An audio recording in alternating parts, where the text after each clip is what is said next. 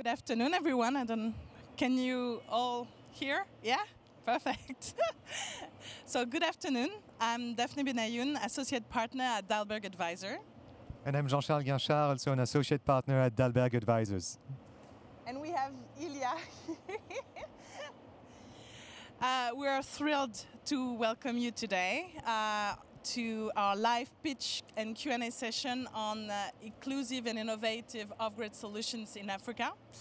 But before we dive in into the introduction and the session in itself, we wanted to ask you a quick question so that we have all a common understanding of the scale of challenges that our amazing change makers are striving to tackle. So let's start with the question. What do you think is the amount in Africa alone of uh, renewable energy investment needed to achieve the universal access uh, to electricity goal by 2030? We have two options here either between 10 and 30 billion a year or between 60 and 90 billion a year. So, by a show of hands, who thinks it's between 10 and 30 billion? Okay, and I assume that the rest is. okay, so actually the majority was right. Uh, if it works, but no. Ah, yeah. Uh, so it's between 60 and 90 billion dollars. So what does it mean? If we compare that to the actual level of investment, we estimate that in 2018, the actual level of investment in renewable energy capacity in Middle East and Africa was 16 billion. So quite a staggering difference, right? What's actually interesting is that even though there's still momentum, it was 61% more than the year before. Actually, what we first witnessed firsthand is the growing appetite of commercial and semi-commercial investors to invest in renewable energy investment in emerging markets and especially in Africa. Uh, at Dalberg, we've actually been privileged to advise some of the biggest transactions in off-grid space in Africa over the last few years. And that's why we're particularly excited to give the opportunity to our two promising uh, startups that you'll hear more about just after, uh, to pitch to an investor uh, that is also represented here, uh, active in the sector uh, to scale up um, energy uh, project in Africa. On the investor side, we have the privilege to welcome on stage Frederic Pfister, who is uh, the director of Off-Grid Africa at NEoT Capital, which is the world's first investor specialized in distributed renewable energy and electric mobility services. And on the entrepreneur side, we are happy to welcome Yusuf Bilesanmi, who is uh, founder and director of Eja Ice, and uh, sorry, um, Shanta Bloemen, who is founder of uh, Mobility for Africa. They will tell you, of course, a bit more about what they are doing, but, but in a nutshell, Eja Ice is a startup that supplies solar powered refrigerators to women working in the Nigerian fisheries supply chain. And Mobility for Africa um, delivers uh, solar powered solutions, transport solutions to women and their family that are efficient, affordable, and adapted to the rural and peri-urban uh, areas of, uh, of Africa. Now, before we give the floor to our brilliant change makers, we wanted to share with you a very brief sense of uh, the, the objectives behind this session and the reasons why we at Dalberg were especially keen to organize this specific session. You need, uh, you need, you need some headphones, yes. Um, so we will end this session with a Q&A uh, moment during which you will be able to engage with our panelists and discuss their broader perspective on the challenges when you need to uh, scale up an innovative and impact-focused solutions in the African environment. So what we hope to achieve with this session is actually threefold.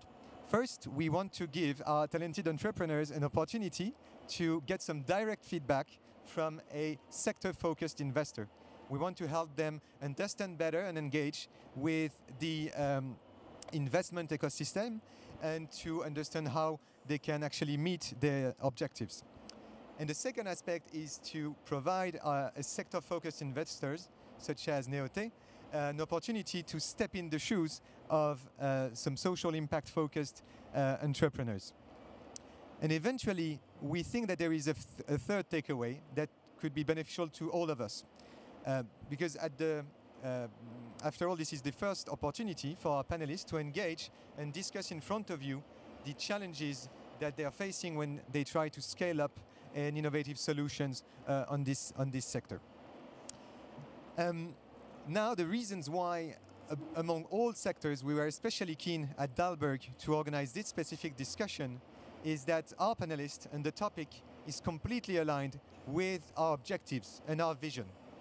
What we are is a mission driven organization, which means that across all our 26 offices globally, and regardless of the services we deploy on a specific project, where from advisory to human centered design, from uh, research to data analytics, we are doing it with one and unified uh, motivation to work to build a more sustainable and more inclusive world where all people everywhere can achieve their fullest potential. We are particularly thrilled that our two entrepreneurs have put and placed gender and women, women empowerment at the core of their mission and solutions. We at Dalberg believe that to achieve any and all of the SDGs, we'll need to apply a gender lens to the project. That's why we actually recently signed the Neutral is Not Enough pledge to co- and committed to apply a gender lens to all of our project and initiative to increase the impact of our work.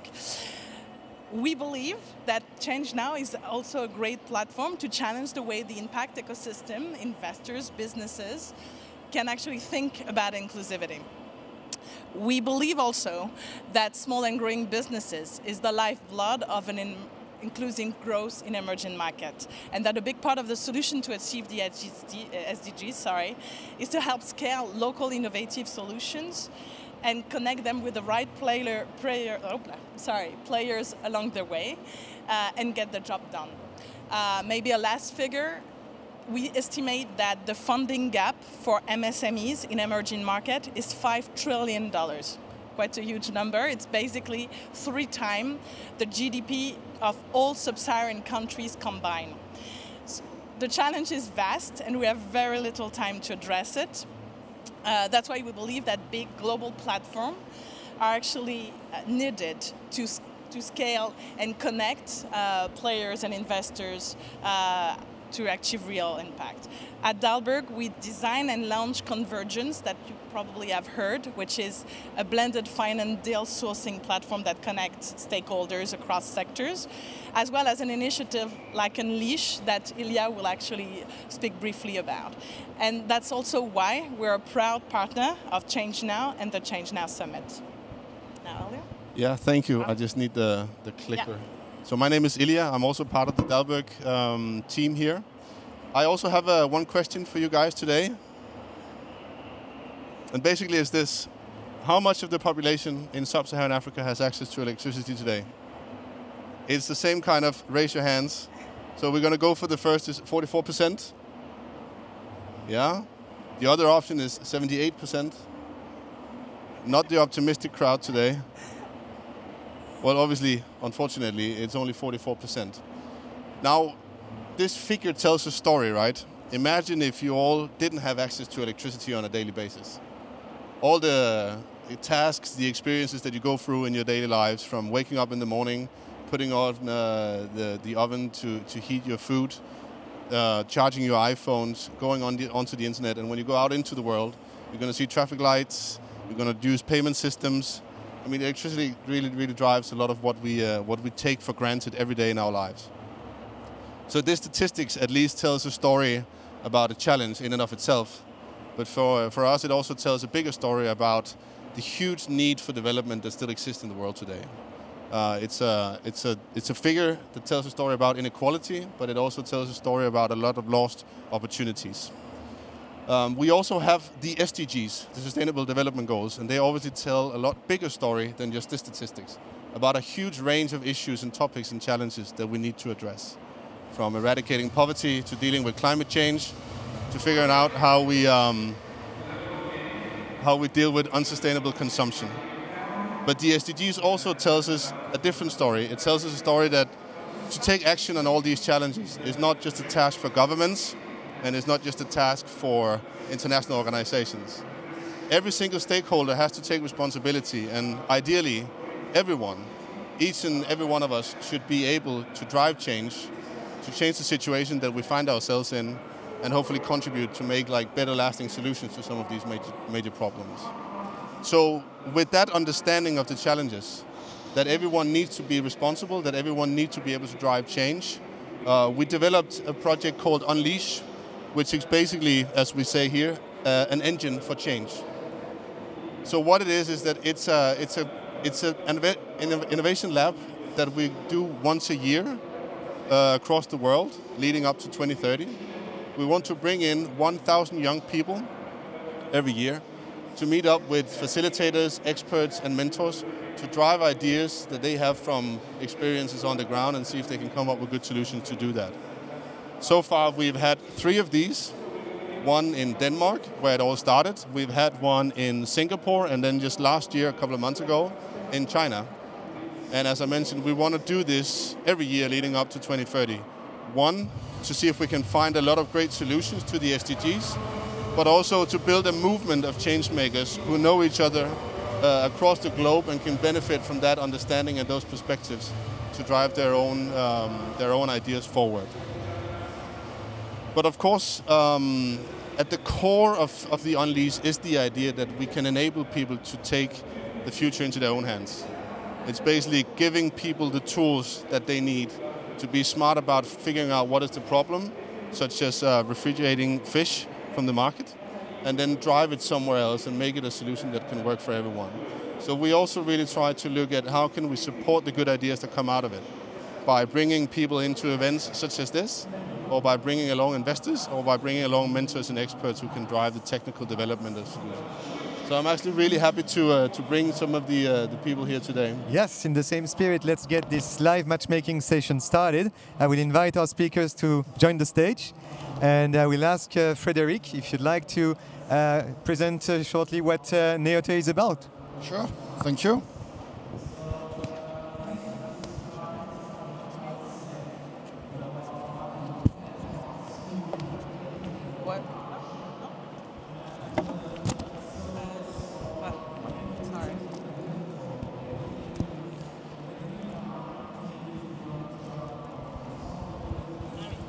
Hi everyone, Th thank you for joining.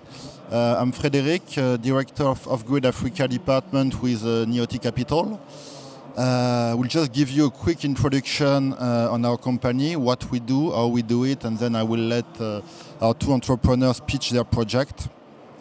So NEoT Capital, uh, in a nutshell, we've been incorporated in 2016 and we aim at financing a transition towards clean energy and clean mobility. Uh, we have two main shareholders, EDF, the French utility, and Mitsubishi Corporation. And uh, we are the tool to address uh, electric mobility and uh, off-grid energy in Africa. Uh, we have already 60 million committed uh, to be invested in the coming years, and we intend to, to deploy 200 million of investment by the end of 2020. Uh, what we provide uh, to our partners uh, is a way to remove barriers linked to technical risk and capex deployment. Uh, both in electric mobility and uh, off-grid energy. If you want to start a project, uh, the upfront investment is quite high, usually several million. most of the entrepreneurs don't have that kind of cash to invest, and that's where NEoT intervene. Uh, we finance the assets uh, for our partners and we lease them uh, to the partners so they can deploy their project without cash issues. Uh, we try to be a one-stop shop for financing solutions, meaning we provide both debt and equity. Uh, we have a technical department uh, advising our partners on the technical aspect of their projects. and we also provide asset management services. Uh, we are a long-term investor, meaning we, we can stay up to 20 years in a project. We don't need to exit after five years. Uh, here you have a quick description of the kind of assets we, we want to finance. in stationary energy, uh, it would be mini grid uh, or a power plant dedicated to C&I and SMEs. Uh, you, you, can have also individual distributed systems like solar home system, solar powered water pump. And in mobility, we finance every kind of vehicle uh, from trottinette uh, to scooters uh, or utility vehicles. here you have the range of services we can provide with those assets uh, battery as a service, system as a service, distributed energy, uh, charge as a service, you name it. We, we try to be as flexible as possible uh, and to finance as many services as possible. Uh, we also have a technical department, as I mentioned earlier, uh, which is focusing on batteries. Uh, batteries are the link between the mobility and the off-grid platform. And we think uh, by better understanding how to improve lifetime of a battery, uh, you can change the economic equation and therefore bring more profitability to your uh, investments uh, and be able to address uh, different kind of businesses. quick presentation of our two main shareholders, but I guess they are already known enough, so no need to to talk too much about them. Maybe a few words about the way we invest.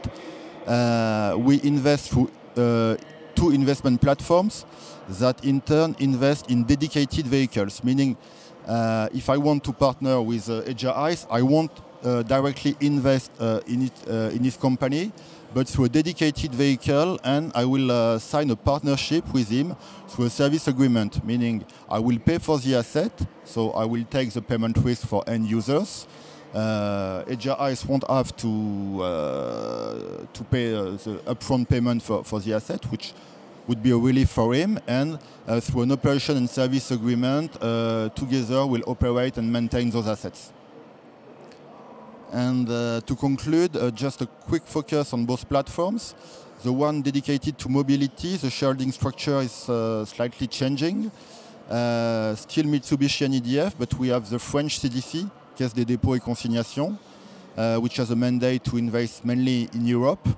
And for African platform, uh, it's no longer working. Sorry. Uh,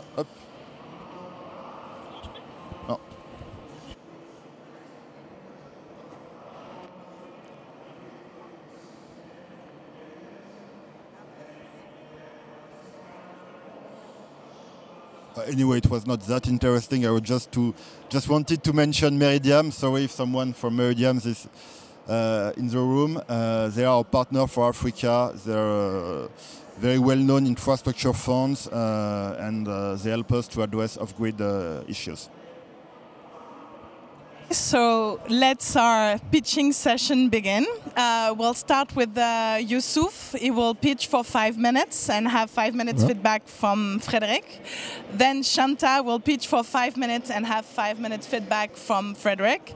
And we can then go to the Q&A session where we'll have you will have an opportunity to actually ask questions on uh, for our panelists. So Yusuf.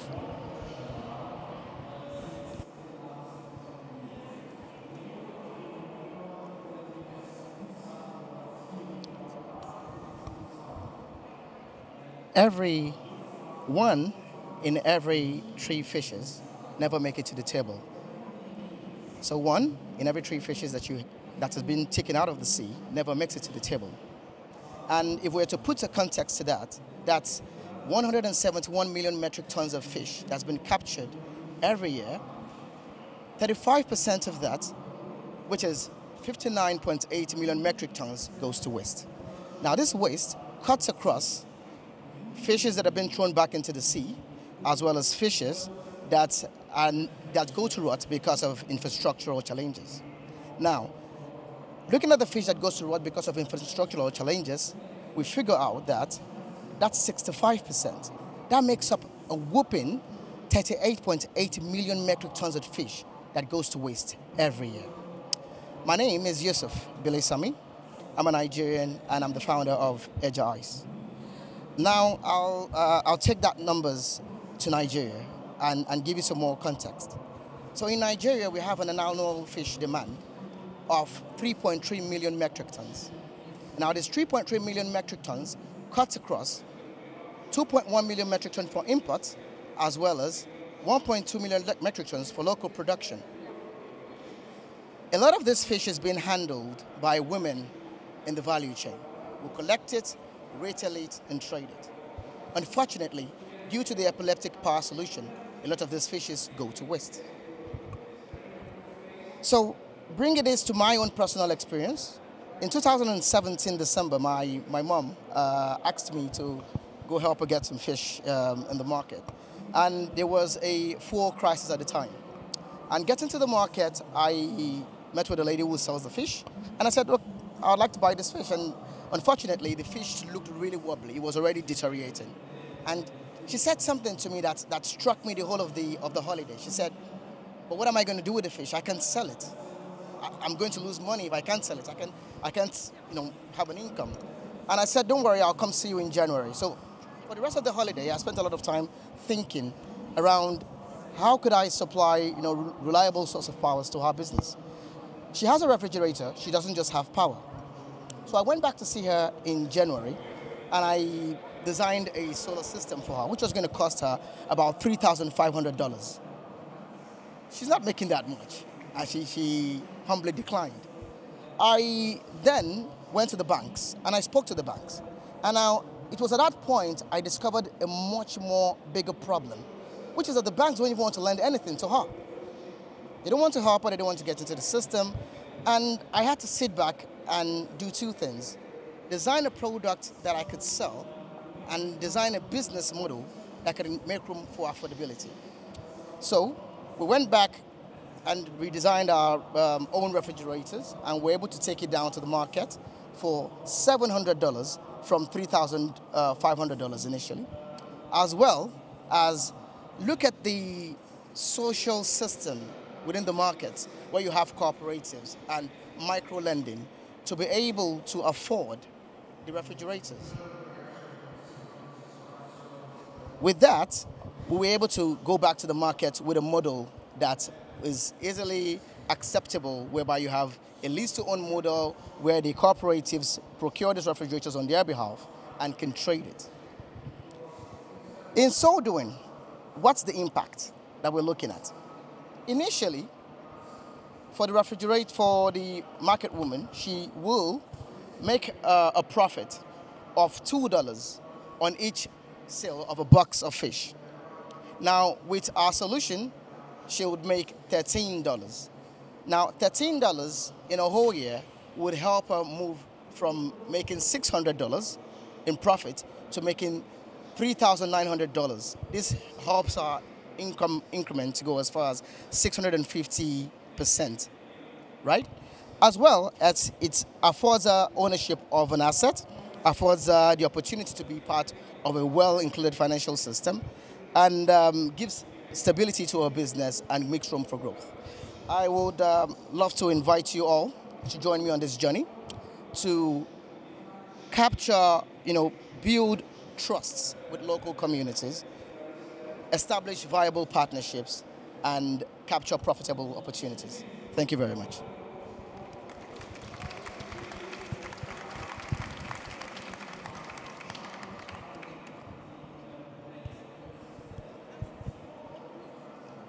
Thank you, Yusuf, uh, for this uh, very nice presentation. Uh, just a few questions uh, about your, your concept. Uh, I don't want to, to sound cynical, but as an investor, uh, my main focus would be profitability. if I put money in your company or through a dedicated vehicle to, to finance your assets, I need to understand what is the risk and what is the reward. Uh, so uh, in your business model, uh, I understand you, you want to sell fridges via a lease to own scheme Uh, to fishermen, uh, fishermen in, in Nigeria. Uh, my first question is why only fishermen? Okay. Uh, thank you very much for that. So it's designed not only for fisher women, What we've done is that we've designed a business model around the fisherwoman to ensure affordability for her. However, it's, we are able to sell to every other person who doesn't have the same financial problems as the fisherwoman. We've designed our, pro, our solution for the weakest in our communities so we can have a much more inclusive uh, communities. We definitely have people who are willing to pay straight away for the product, but being able to design it around the needs of the fisherwoman creates more opportunities for her. Okay. Uh, to get a better understanding of, of your project, uh, when it comes to the market size, uh, how many units do you think you'll be able to, to sell uh, per year in the coming years? And uh, do you have the capacity to product those units? To produce, sorry?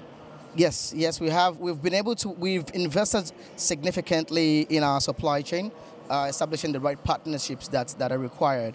The, the, the market need is, is significant and it's really huge. Given lots of parameters from changes in lifestyles to business demands, and uh, presently in the first year, we're focused to getting as much as 600 units out on the market. I'm very sure we'll be able to exhaust that in the first six months. And then, uh, given a five-year projection, we're hoping to be able to sell as much as uh, 12,000 units. We're working uh, very closely with the um, ECREEE, which is the ECOWAS uh, Regional Renewable Energy Center, to be able to deploy this across 15 countries uh, around the West African region within the next two years. Okay. As of today, how many units did you already sold, sell? Yeah, so we're still at the very early uh, startup phase. We've, we've only sold about 30 units. And we, we, but we intend to be able to uh, identify the partnerships. Th- those units we've sold has really given us insights into the market and um, clarity on, on, on, the, on the needs as well as to validate our business models. And we are at a very important point of, of scaling this forward. Okay. And to go back to the risk reward analysis, uh, so let's focus on the risk. Yes. Uh, 700 uh, USD per unit. yes. Uh, isn't it a bit expensive? Or No, it's not. no, it's not. So 700 units is not uh, $700 is not expensive. The reason is because we we've done two things. So from the in, from the from the consumer side, profitability of their businesses on a daily basis has an income of $13 as pure profit. This is after business. So they procure the, the a box of fish for 27 um, for $5.5 and they sell that for $9.7. Now, with a refrigerator of our size, they can buy five backed box of fishes in contrast to just buying one for $27 and trade that for $43 and make a profit of uh, 13 uh, oh, sorry, for $49 and make that a profit after operational expenses of $13. Now, with that, in a whole year, that's $3,900. At $700 within the next three months, at consistent profitability, they should be able to pay up for the asset. And we even leasing that to a six month period. The objective is not just you know to, to take that money off them, but equally to help them grow. Now, looking at the risks that we've considered into this for investors is that one, when you when you operate in Africa, one of the challenges you have is um, the, risk of um, currency, currency risk because of currency fluctuations. We have benchmarked our profits fairly at about $550. We are already profitable, 40% profitable at $550, but we've let that gap of um, $150 in to mitigate currency fluctuations right? Also, because we engage uh, cooperatives, the cooperatives equally want to be profitable. So, to rather than going after the um, the, the traders, we could trade through the cooperatives, and the cooperatives get the money off the the um, the fisherwomen. So, in in, in, other, in essence, we, we we have secured the profitability and mitigated the risks for investors as well as made it affordable for our consumers. Okay, based on my, my experience Yeah. in solar home system, uh, one last question. Um, maybe we'll actually can continue the discussion after. I'm afraid that we won't have. Uh, sorry for that, but thank you so much for the discussions you had. Thank you. And now, Shanta, I invite you to pitch. Thank you. Thank you. It's exciting to be here. It's exciting to have this quiet session. I'm still getting used to the technology. Um, sorry, let me. Uh, So, uh, my name's Shanta Bloemen, and um, I'm the founding director of Mobility for Africa. And 25 years ago, when I first went to Africa, I lived in a rural village in northern Zambia. And the first lesson the local women taught me was how to carry water from the river about a kilometre from my home. And it was a lesson I never mastered. Um, juggling a five litre bucket of water on my head was difficult, painful, and slow. And sadly, 40, uh, 25 years later, uh, UN Women estimate that women in Africa still spend an est- 40 million hours every year carrying water. Um, so, mobility is essentially a life or death matter in Africa. Long distances and lack of transport can mean that women and children die um, not getting the services they need. It means that kids don't go to school because of long distances, they drop out. It means that crops rot in the market because they don't get to where they need to go in the field, they don't get to the market. And new economic opportunities are missed. Um, and while I think there's been an understanding for those that work in the development space that mobility is critical, it's been neglected. And we still have an estimated 70% of Africans living in rural areas. So they produce about 80% of the food, and the majority are women. So these are the people that we are looking to try and help. Um, Mobility for Africa was started in uh, 2018, but we basically became operational last year. We launched a pilot in Zimbabwe, and our aim is to bring the electric vehicle revolution to ordinary people, to the majority of people in Africa, especially women, uh, by providing and leveraging new technology and adapting it to local contexts. Um, we know that about 40%, the estimate is, of rural Africans live at least two kilometres from an all purpose road. So, for local people, they spend a lot of time getting to the main road where they can transport their goods. So, we are hoping to, to provide off road solutions. Um, and we believe that there's we, have started with a tricycle that's been used in China and we are now adapting that to the local context. And we've called it the Hamba which means go. And our focus is how do we work with local women and create community um, services and support to maintenance and repair. Um, I think the question for me, which is really exciting, I've been on this journey for the last three years, is, is we are now at an opportunity where we can do this. Um, the Intergovernmental Panel on Climate Change has already told us that we need to move to green electric transport. And this should not just happen in rich countries, it needs to happen in poor countries as well if we're going to succeed. And we know already that in many parts of Africa, petrol is expensive, it's imported, it's a fossil fuel, and transport is expensive because of it.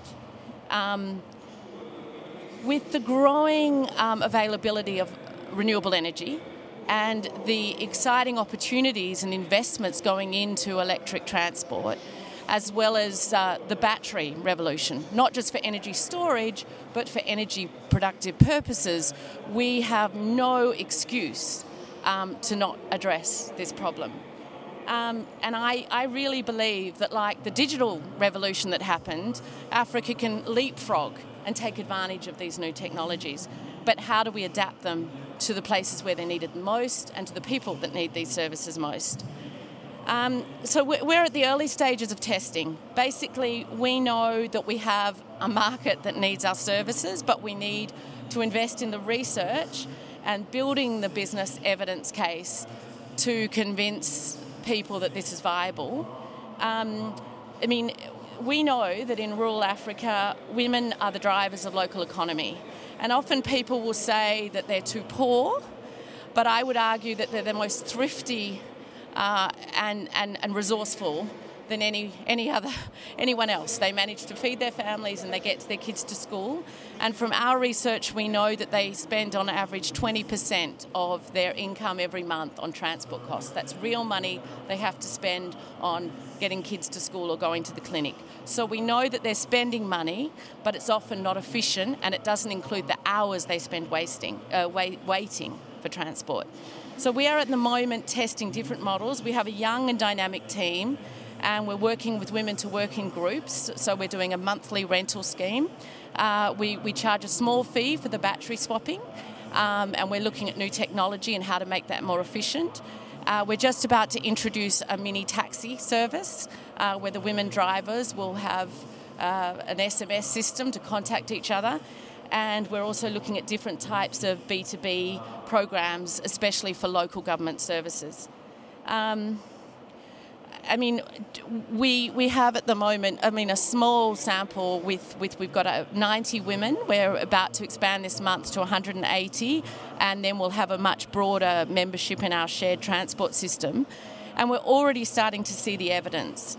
Um, it's shifting gender attitudes. We're focusing on women because we essentially know, as Yusuf said, that women need it and men will always get access, but we need to prove that this is viable for women and then the men can join in.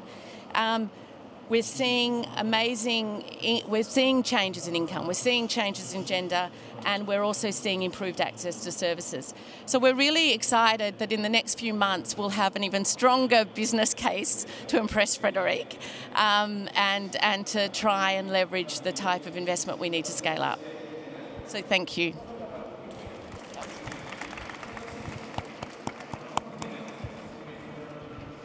Thank you very much, Shanta. A very interesting presentation. Uh, that's definitely the kind of project we would be happy to invest in uh, at NEoT. Uh, combine both uh, stationary energy with uh, electric mobility.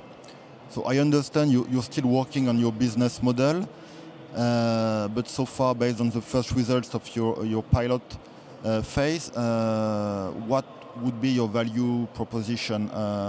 How do you think you, you would be more uh, likely to, to make money and to, to monetize your Hamba?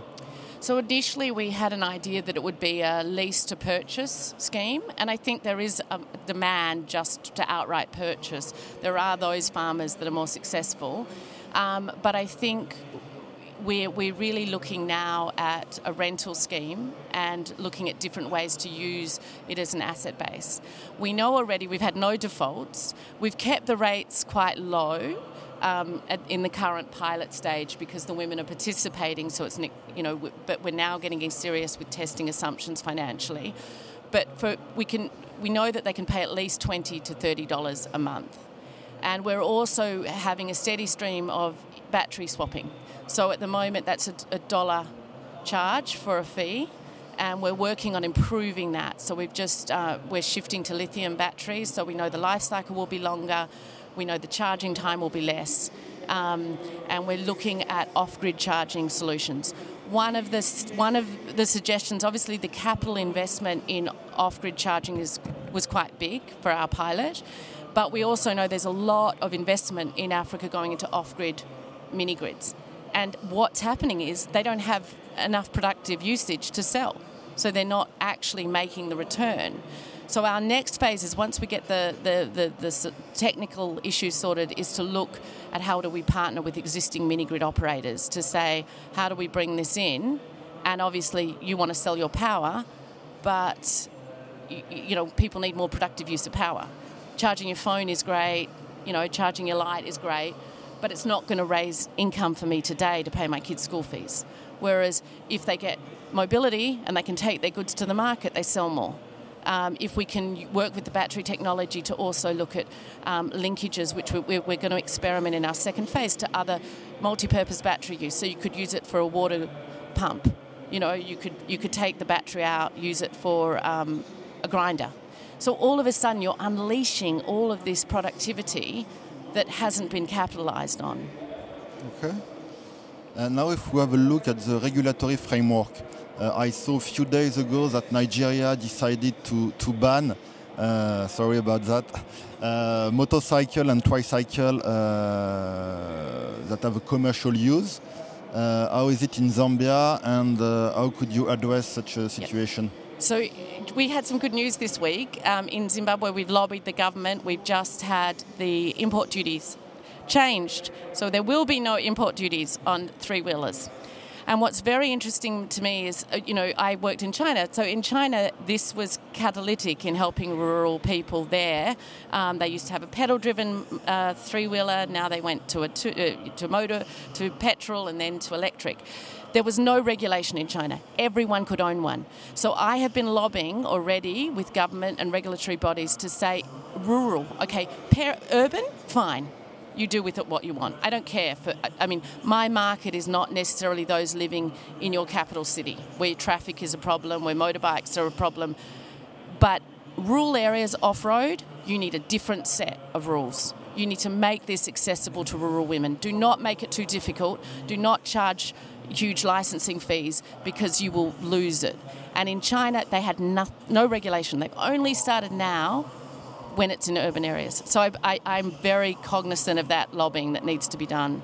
But it's interesting on the EV front, both Kenya and Rwanda have now set targets for electric. They're going to all motorbikes will be moving and shifting to electric within a few years. Okay, thank you. Uh, what, what, I would like to, to, ask you, and that's the question I wanted to, to ask you through earlier, is uh, you're an entrepreneur, I'm an investor. So exactly what do you need? What will you do with it? And uh, what would be my reward if I decide to, to invest in your projects? So, uh, I mean, money is obviously important, and I'm learning that as a new entrepreneur. um, but time and investment space research. I, I think that there's an assumption that you, you just go, going to have a perfect business model from the onset. In Africa, you need time. You need a lot of this is new. You have communities that you're introducing new technologies in. You need to build trust. You need to build relationships. So time and capital. But I think if the potential is there, then the scale up, the market is there. Um, you know, you have 1.2 billion people. If we, estimate there's 100 million family farms in Africa, that's a huge constituency that's being missed. But I think it's it's it, it's a patient investor to get through that initial stage. Thank you so much uh, to the three of you for this uh, pitching and feedback session. Uh, now I suggest that we jump on our Q&A session um, so that our panelists can share with you their broader perspective, really stepping back from these specific projects and sharing their perspectives on um, the challenges that they can face to uh, scale up an innovation, an innovative uh, solution like this. Um, maybe to give you the time uh, to prepare and share your, your questions, we can uh, start with a couple of uh, introductory uh, questions. The first one would be for Frédéric. As a green investor present in Africa, what are the main challenges you're facing and what are investors like you uh, expecting most importantly? Thank you. Uh, the main challenge uh, for us in Africa uh, would be to find profitable projects uh, and suitable projects.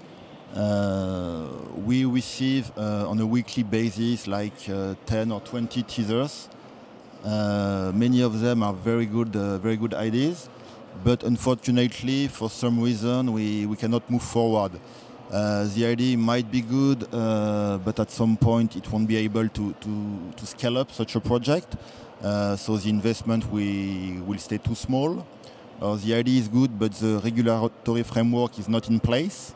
Uh, if I take, for instance, a mini grids project, uh, that's something we we like very much at NEoT, and we we think it's. Uh, uh it will be very important in the next years. In some countries, the regulatory framework is not there. you don't, you cannot set your price. So at some point, government can decide that you, you need to, to divide your price by two, and therefore your profitability is no longer there. Uh, you are not protected against competition from the national grid. Uh, and that's the kind of, uh, of issue we are facing on a daily basis. Uh, as an investor, what are we looking for? Uh, of course, profitability, because uh, we are not an impact fund, and even development finance institution, they are looking to make a profit. So, so are we. Uh, and then uh, we are also looking at the impact of our investment. Uh, so far, we, we focus on the pre-investment impact. what we call the E&S review, environmental and social impact assessment. For that, we, we are working with with dedicated uh, consul- consultancy firms. Uh, and what we are trying to, to assess after the investment in the social impact on population. You provide power to, to populations, what do they do with it? Uh, do they try to, to develop their business? Uh, do they go to productive use or do they spend uh, their whole day in front of a TV watching stupid TV shows? That's the kind of stuff we need to assess. But again, uh, such an assessment has a price. Uh, who is paying for that? Uh, we could be paying for it, but our shareholders, not sure they would be very happy uh, to see the profitability declining. Uh, that's why we are trying to put in place partnerships with uh, DFIs, universities, uh, willing to assess, assess social impact after investment. Thank you. Maybe one more questions before we open. Um, you come from the development community uh, and now you're just starting your entrepreneurial journey. What do you, what has been so far the biggest challenge that you face, especially coming from a different uh, community? Um, I, I, think it, it, was exemplified today in a way. Um, when you work in development, um, your your outcomes are measured very differently. Um, you know, you're looking at did the kids all go to school? Um, did your health indicators improve? And obviously, as Frédéric has indicated, if you're in the business world, the bottom line matters much more, and that's usually where the conversation starts. Um, so, to me, I mean, in having been in this space for a long time in Africa, what's interesting is, and it's exciting, there is a, it's there's a there's assumptions about this cha- charity model that doesn't work because we don't have transformation. It doesn't it, it doesn't lead to sustainable outcomes over the time. So now the question is obviously how do we get the right mix between sustainable social enterprise and business being included in the in, in this space. We, we bring the two together, um, and there's a bit of a buzzword around social enterprise and how do we impact investing. But I think it's going to be hard to, to actually, it's going to take a while because I do think between the profit and the social outcomes, we've got to find a way to meet that middle ground. Maybe we open the floor to questions. Uh, we have a mic, yeah. so raise your hand, okay?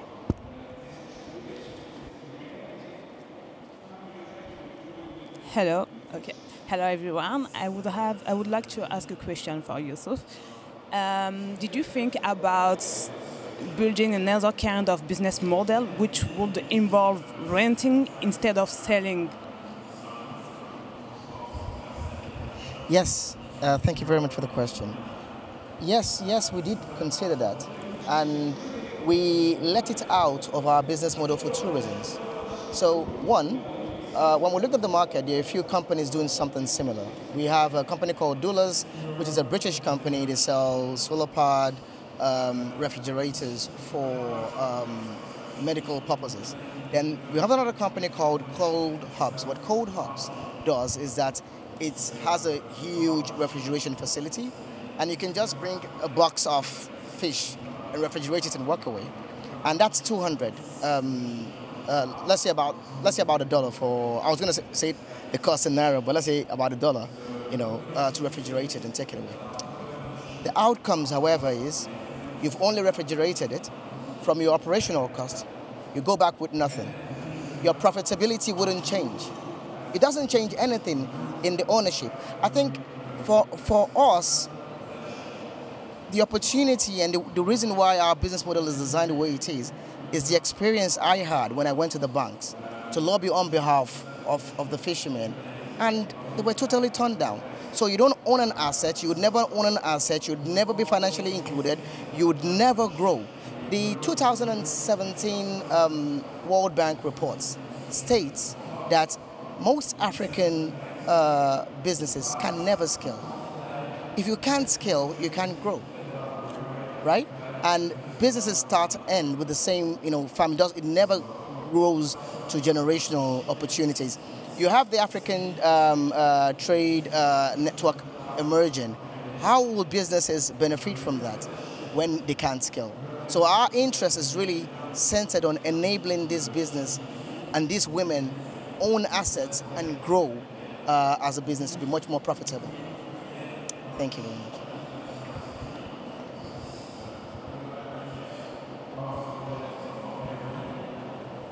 Thank you. A, a question for both entrepreneurs. Do you feel that you have room for choice when it comes to the types of investors that you speak to, or are you more takers in those types of conversations? And if it's if it's the former, what are the types of questions that you ask yourselves when picking which investors to talk to? You want me to go first?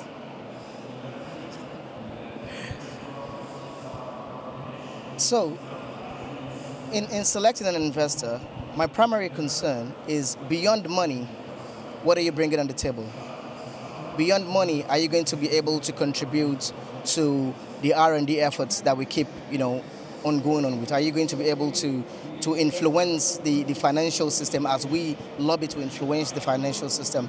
Will you be able to help us scale into new markets the same way we, we you know intend to enter those markets beyond just profitability for the company, but the company's own uh, impact mission and its ability to execute on that. So that's important. It's important to, to get funding, which really eases, um, you know, what needs to be done next to procure and, and to deliver.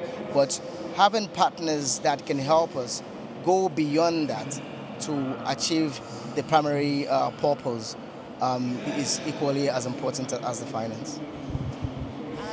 So, so I'll, I'll admit, I was a bit naive when I started this. I just assumed the need is there, it's brilliant. Aren't you going to give me some money? And so, what I've discovered is obviously this is a journey. You have to, doors will open when they're ready, in a way. That's, that, that's my new mantra. Keeps me calmer than thinking they're all going to open at once. And in this impact investment world, as we know, there's a huge spectrum. And so we have really started at the philanthropy end of that spectrum, where there is a growing ecosystem of foundations that want viable models and willing to give you more time and research to build a proof of concept. So that's sort of the starting point. And I think in Africa that money is incredibly important and catalytic because you can't go to the to the other extreme straight away because you won't be able to make that case. So we, for example, have been very lucky. We have um, basically been dependent on grants for this pilot. Uh, crowdfunding, we started with crowdfunding and then we went to, to grants. And we've now, I mean, we just got, there's new pots of money in, in Africa. There's, we just got this Africa Energy Competition Fund, which is running in 10 or 15 countries, which is traditional development donors now putting their money in these type of initiatives. Um, and, and obviously, the type of way they work is that they also do provide you with technical support and mentoring and access to opening doors. I mean, I, I'm the first one to admit I'm very privileged. I'm not African. I mean, I've lived in the continent for a long time. Um, I don't know how anyone, and I've also piloting in a very difficult country. Zimbabwe is a beautiful country, but the, the, unfortunately, the economic crisis never seems to end. So if you're a small scale startup, you, you need those support networks, um, or otherwise it's impossible. So I do think it's both looking to open doors at the right time. Don't start with trying to open all the doors at once, and looking for allies and networks that can help you open other doors as you go and build the case. A question for Shanta. Um, I I saw a presentation last year where similar vehicles were brought into these communities and then they were used for three to four weeks as long as they were functioning. But then once the first wheel broke off, no one was there to actually, you know, repair them and then they were like just left aside. So in your business model, how do you ensure that the maintenance and the sustainability to adopt the technology is there so that it's a long-term functioning business model? So, so, so, we so that's a good question. I don't want to be, uh, that that's been Africa's problem a lot. Um, so no, we, we started with training. We've got a local train. We did do local assembly, so we've trained local technicians. But now in the pilot area, we're training women, Uh, so we're calling them electric lady agents, and they're basically community women that know how to change tyres.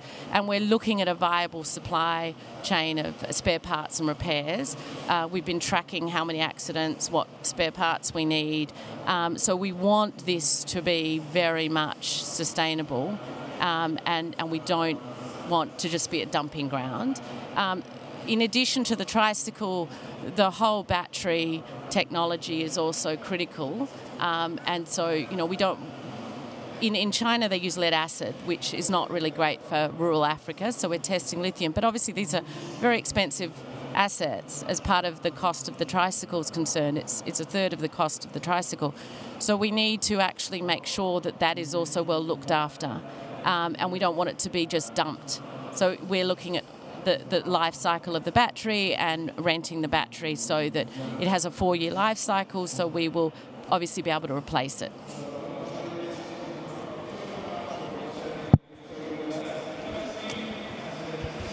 Hello. Uh, first, thank you very much for the very nice presentation. Um, I just wanted to say that uh, there's a personal perspective, but thank you uh, to Yusuf because I'm very glad to see that a gentleman is taking over an initiative for women. Thank it's you. very rare. So I just wanted to say that. Um, I just wanted to reflect on what you say about the gap that we have between the different founder, where you have at the beginning you do your proof of concept, your pilots, and you have a lot of open doors uh, with the development community. And then when you are finished, when you define your ID, you put a lot of energy and so on, you go to the investor, you show your project, and then uh, they question you about the profitability. So there is a huge gap. Um, and so my question is to Frédéric: Is is there like some initiative? Because I, I don't know an initiative to my knowledge where you decide to collaborate with the development sector to be there right from the beginning, not you know like funding the uh, proof of concept of the pilots, but making sure that right from the beginning the entrepreneur know what are the metrics that they're going to be challenged after the proof of concept, or on the other way around, where the development sector is going to say like, okay, after your proof of concept, that's a dif- different type of investor you can see and, and have a support from them. So making sure that this gap is smoother and, and we can bridge the, the gap because I've seen so many good initiatives that just fall into the trap because they didn't receive the right support right from the beginning. So it's an open question to that. Thank you. Sure. Uh, there are some initiatives. There, there are some uh, investment funds dedicated to that. Uh, for instance, you have Acumen, you have Gaia in France. Uh, that's the kind of fund who funds who will take an entrepreneur from uh, square one, uh, show him what are the requirements of uh, institutional investor, and how to, to market his product, how to, to finalize his business model uh, to make sure uh, it can pass to the next level. Uh, usually uh, they are closely working with development finance institutions. Uh, each one of them, uh, AFDB, AFD, FMO, uh, they are the, some kind of incubator where you can help an ID grow. Uh, that's not something we, we do at NEoT. We are uh, we are waiting for the next level, and uh, when they are ready to, to scale, we will be there to, to provide them with the kind of capex funding they need. Uh, but yeah, I totally agree with you. That's something uh, that needs to be implemented a lot more uh, because too many ideas are, are dying too, too soon.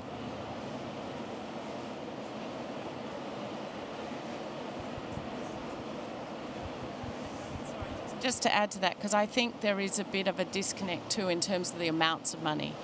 So, you know, there, there is he.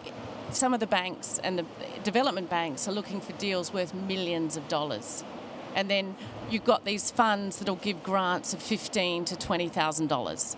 So you've got sort of silly, unrealistic you know, for, for your average African entrepreneur, you can't do that much. You can't test a proof of concept seriously for $15,000 anywhere. And then you've got the next level. So I still think there's a huge gap in this middle space. I think your point is really important because that's where we're struggling now.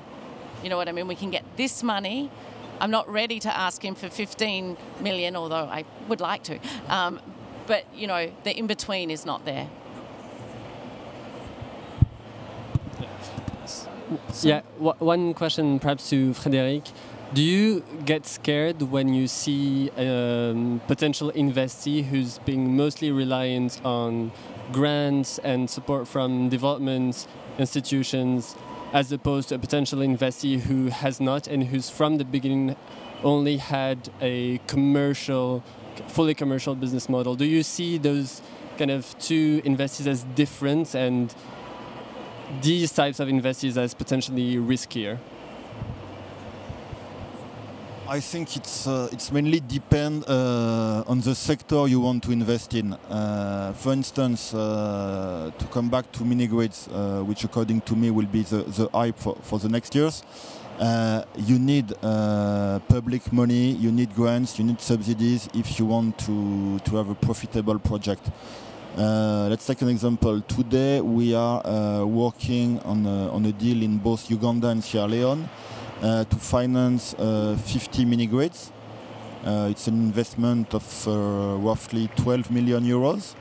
Uh, and we get uh, roughly 6 million euros of uh, subsidies from GIZ, which is a German DFI, from the European Union, the World Bank. And even with that level of subsidy, uh, we are struggling to reach the profitability uh, target set by our shareholders. So then you can answer me, your shareholders are too greedy, maybe, uh, but uh, that's life. And honestly, uh, what we are aiming at is uh, within the, the, market standards. So depending on the sector you, you are operating, you need that money. Uh, because otherwise you, you would have to sell your electricity uh, at a price uh, way too high for anyone to, to, buy a kilowatt hour. Or if you don't, you, you're just making maybe 1 2% of uh, return rate, which is not acceptable for, for a private investor. And more than bringing money to the table, uh, DFIs, public institutions, they also help you and help local authorities to understand what are the requirements of a private investor, and they help you to uh, to shape uh, the legal framework you uh, you strongly need uh, to make sure you can be in business in a country for the next 20 years. a lot can happen within 20 years if you are not protected and backed by strong agreements uh, you, you might very well lose your money. And uh, if you've been supported by AFDB, uh, World Bank, you name it, uh, when you need to go back to the government and explain uh, what are the, the, constraints you are dealing with, uh, they would be more likely to listen to World Bank than to, to NEoT. Thank you. I'm not sure we have time for last question or just a quick one if there is any. Yes? Okay. Yeah, um, good, good afternoon. Um, Roger Christian. I'm. Uh, I have a similar project as um, Shanta has, but it's in uh, Kenya. And I, since we don't have much time, I would just like to invite you to uh, the pitch session tomorrow between one and two. Uh, sorry, between 12 and 1. It's uh, solar electric cycles we put a solar panel on a on a electric uh, bicycle structure, and we offer therefore uh, off-grid power to homes and mobility in the same solution. Well, thank you. Uh, I think uh, we can call this a wrap. Uh, thank you all uh, for uh, being here. I hope that you come back with food for thoughts on the challenges and lessons on uh, what it takes to scale impact solutions in Africa. Uh, for those who were too shy to ask questions, we will stay a bit more just nearby. Uh, there is a session just afterwards, so if you want to uh, discuss and reach out uh, to any of the persons here, we'll be there too, and, and pleased to, to, to talk to you. Thank you all, and have a good afternoon.